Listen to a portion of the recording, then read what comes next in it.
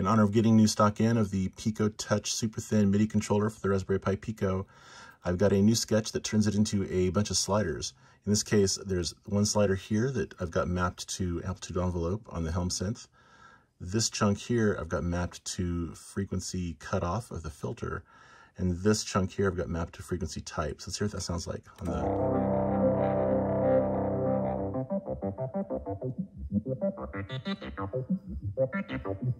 The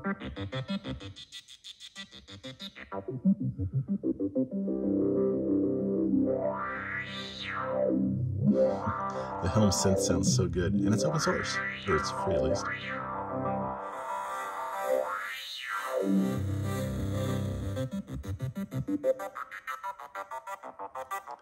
So this sketch is available in the in the repo along with everything else.